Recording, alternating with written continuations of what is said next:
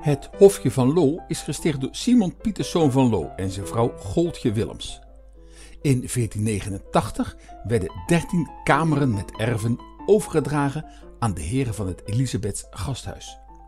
Bepaald werd dat alleen arme mensen of priesters hier mochten wonen. Het hofje was eerst aan vier kanten bebouwd en toegankelijk door een poort met daarboven het wapen van het Sint-Elisabeths gasthuis. Maar omdat de straat verbreed moest worden, is één huizerij gesloopt, zodat u nu door een hek dit hofje kunt zien liggen. Het wapen van de heilige Elisabeth is nu terug te vinden op de waterpomp.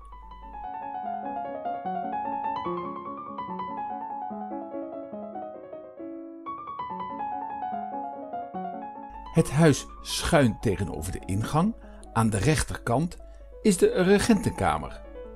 De kamer is nooit gebruikt, omdat de regenten hun eigen vertrekken in het Elisabeths gasthuis hadden. Nog steeds wordt het hofje bestuurd door de directie van het ziekenhuis.